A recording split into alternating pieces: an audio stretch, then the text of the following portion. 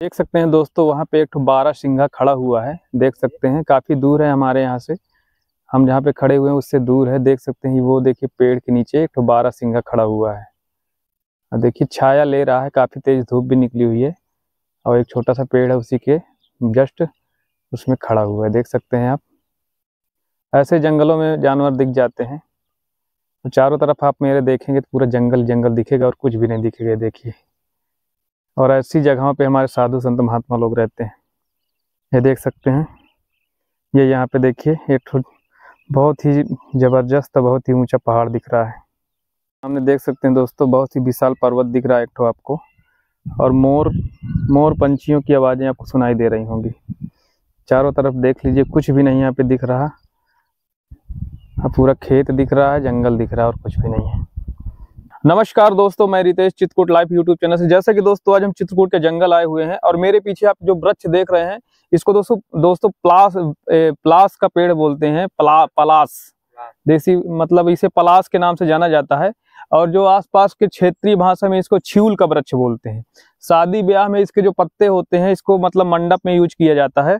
और इसके जो फूल होते हैं इसके फूल बहुत ही फ़ायदेमंद होते हैं। बहुत सी मतलब बीमारियों में काम आते हैं जैसे किसी को धात पड़ रही हो और किसी को गर्मी हो गई हो तो इस तरह की मतलब चीज़ों में ये पलास का फूल यूज़ होता है और इसको लोग ठंडाई में भी मिलाते हैं और काफ़ी मतलब यूज़ होता है और ये चीज़ें मतलब जब गर्मी विशाल गर्मी पड़ने लगती है तभी इसमें फूल आते हैं। देख सकते हैं इसमें इस, इस समय एक भी पत्ते आपको दिखाई न देंगे पूरा फूल ही फूल दिखाई देगा। और ऐसे दुर्लभ वृक्ष जो है अपने चित्रकूट के जंगलों से नष्ट होते जा रहे हैं क्योंकि इसकी देख रेख नहीं हो पा रही है और यहाँ पे मतलब इसकी कोई कीमत समझता ही नहीं है।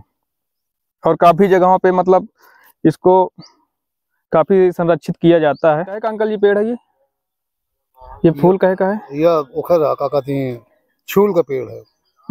छूल का फूल है? हाँ छूल का फूल है। अच्छा अच्छा।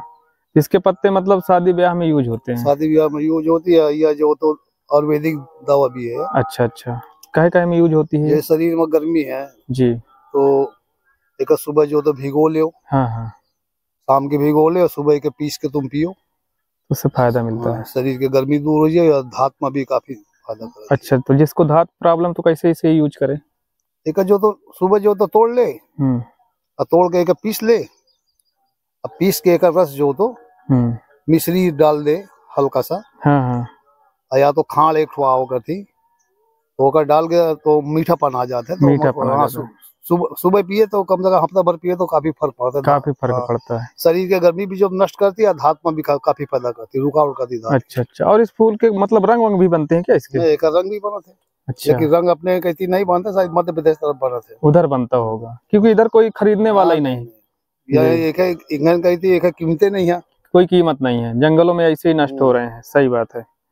देख सकते हैं दोस्तों ऐसी जड़ी बूटियाँ अपने चित्रकूट के जंगलों में आपको हर जगह देखने को मिल जाएँगी। एक, एक, इसको तुम खा के देखो। मीठा आएगा।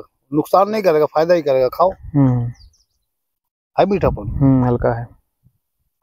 यही फ़ायदा करेगा पूरी जड़ी बूटी अब जिसको जानकारी है वही इसके बारे में बता सकते हैं। बाकी दूसरे के लिए तो सिर्फ़ वही है। एक जो तो अपने तरफ़ देखिए छुल के पेड़ गाती है लेकिन कई नाम से जाना जाते हैं। लेकिन अपने तरफ़ एक छुल के पेड़ गाती है। हम्म, शादी ब्याह के भैया मंडप में एक पत्ता लगा करती हम अभी तक जितने छूल के वृक्ष देखे हैं सब छोटे छोटे देखे हैं। लेकिन ये बड़ा ये बड़ा ही। एक बार इधर से दिखाइए घुमा के देख सकते हैं। ये बहुत ही बड़ा विशाल वृक्ष नहीं छोटे छोटे इतनी झाड़ियाँ होती हैं लेकिन ये बहुत बड़ा छील का वृक्ष है। नहीं यार अपने जंगल में तो ऐसे बड़े बड़े हैं हाँ। हाँ जंगल में ऐसे बड़े बड़े छुल के पेड़। बिल्कुल। इसमें अभी इस समय एक भी पत्ती नहीं है। पूरा फूल ही फूल है। हाँ, ये गर्मी जब निचाट गर्मी पड़ती तभी ये मतलब होता है। पत्ती झड़ चुकी है। पत्ती इसका झड़ चुकी है। चलिए ठीक है अंकल जी। ठीक। तो इस, ये फूल अगर आपके आसपास कहीं पे भी ये वृक्ष दिखाई दे तो इसको मतलब बचाने की कोशिश करें, क्योंकि ये आयुर्वेदिक जड़ी बूटियों वाला वृक्ष है और इसके काफ़ी फ़ायदे हैं और ये दुर्लभ चीज़ें बहुत ही कम देखने को मिलती हैं और धीरे धीरे ये नष्ट होती जा रही हैं। अपने चित्रकूट के जंगलों में ये बहुत ही ज़्यादा एक समय पाया जाता था, लेकिन इसको संरक्षित न होने की वजह से इसको काट दिया गया, बहुत ही कम इसके वृक्ष देखने को मिलते हैं। देख सकते हैं, इस समय इसमें फूल आया हुआ है और बहुत ही खूबसूरत फूल इसका देखिए दोस्तों, लग रहा है रेड रेड पूरे ऊपर से फूले हुए हैं और इसमें एक भी पत्ता नहीं है। देख सकते हैं, इस तरह का ये वृक्ष होता है दोस्तों। और जंगलों में मतलब अक्सर आपको गर्मी में देखने को मिल जाएगा। पूरे जंगलों में लाल लाल आपको दिखेगा जंगल के अंदर। तो अगर लाल लाल दिख रहा है, इस तरह का वृक्ष दिख रहा है तो आप समझ लीजिए कि ये छिउल का वृक्ष है पलास पलास भी इसको बोलते हैं। और ये काफ़ी महँगा जाता है और इसकी दवाएँ बनती हैं और इसके कलर भी बनते हैं। देख सकते हैं, ये नेचुरल पौधा है, इसका कलर कितना सुंदर है। देख सकते हैं दोस्तों। एक ही वृक्ष यहाँ पे हमको दिख रहा है, जो झाड़ियों के बीचों बीच है। ये देख सकते हैं। देखिए कितनी सारी इसमें चिड़िया आई हुई हैं। इससे रस चूस रही हैं, देखिए। बहुत ही सुंदर वृक्ष।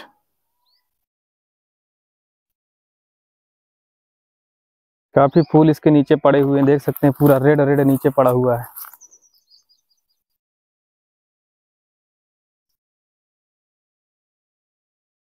ये देखिए दोस्तों, यहाँ पे भी एक इसका फूल लगा हुआ है, देखिए। ये देख सकते हैं।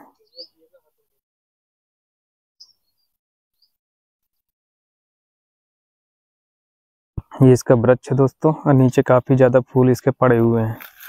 झड़ जाते हैं ना, गर्मी है, झड़ जाते हैं, बहुत चिड़िया आती हैं, इसका रस चूसती रहती हैं, मधुमक्खियाँ भी इसका बहुत रस चूसती हैं।